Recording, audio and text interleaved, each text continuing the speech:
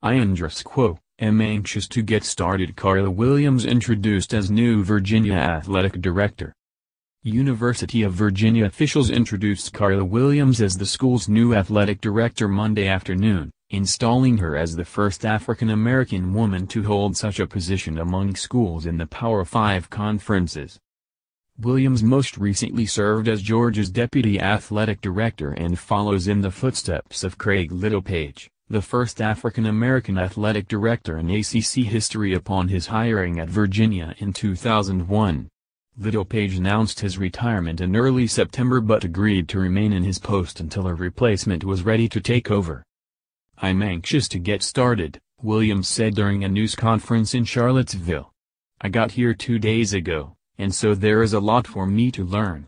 I do consider myself a lifelong learner, and I'm looking forward to getting here and finding out more from the coaches, from the student athletes and from all of our stakeholders so we can begin to put together a program that all of you can be proud of, to continue to be proud of. At Georgia, Williams had a hand in virtually all aspects of managing an athletic department, including as a top administrator for both football and women's basketball. Williams was an All-Southeastern Conference guard for the Bulldogs, playing from 1985 through 89. She had been at Georgia since 2004. Before coming back to work for her alma mater, Williams was Associate Director of Athletics at Vanderbilt, where she oversaw 11 men's and women's sports.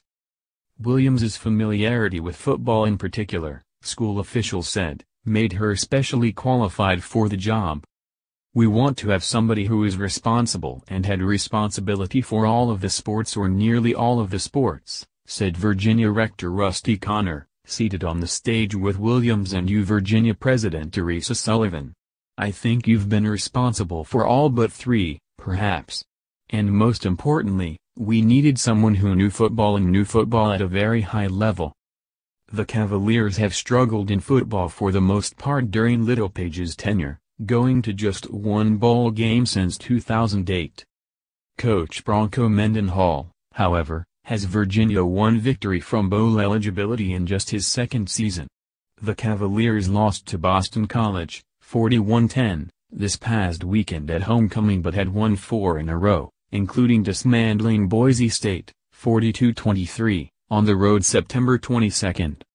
I had a chance to spend a little bit of time with Bronco, and of course we've got to spend a lot more time together to get this going, Williams said. But I think you have the right person. From the outside looking in, you've got a high-character person, great integrity, very successful history. Williams comes to Virginia without any ties to the university, a departure for the school based on recent ad hires. Littlepage was a men's basketball assistant and administrator before becoming athletic director. Immediately preceding Littlepage, Terry Holland had been men's basketball coach before taking over as athletic director in 1994. Williams also arrives on the heels of the longest tenure by any athletic director in school history. The Cavaliers won 13 NCAA championships in 16 years under Littlepage and an ACC High 64 conference title since expansion in 2004-5. College athletics is a challenging enterprise, Williams said. The way that Virginia wants to do it is the way that I am built to do it, and we'll continue to focus on academic achievement. We'll do it with integrity. We'll give maximum effort, and we're going to come together as a team, not just within our different sports teams but within the athletic department and within the Charlottesville community. Read more. Wait, we no longer have to look at Jim Harbaugh, but should look at Notre Dame? One carry at a time. Notre Dame is making last season a distant memory. College football winners and losers, Bedlam is avoided. Long live Bedlam. Maryland football has not been able to match Big Ten's best on defense. Four years after a national title, they're heckling Jimbo Fisher at